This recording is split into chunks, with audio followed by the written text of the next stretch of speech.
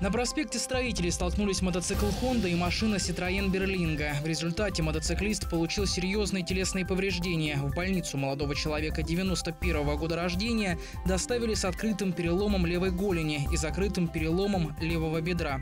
Предварительно виновником ДТП является водитель Citroёна. На перекрестке он не пропустил вперед мотоциклиста. Если его вина будет доказана, мужчина будет обязан компенсировать мотоциклисту расходы на лечение.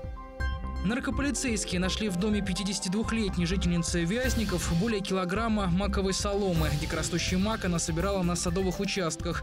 Ей грозит до 10 лет и крупный штраф. К слову, у женщины диагноз опийная наркомания, и ранее она уже сидела за мошенничество. Во Владимире продают алкоголь несовершеннолетним. Молодым активистам продали пиво, не спросив паспорт. Сразу после этого в магазин приехали полицейские.